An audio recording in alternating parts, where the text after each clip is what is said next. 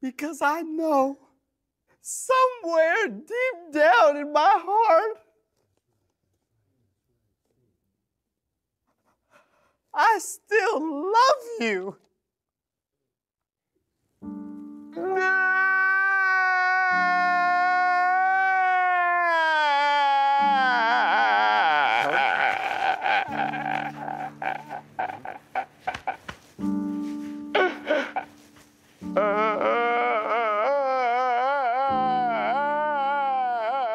uh,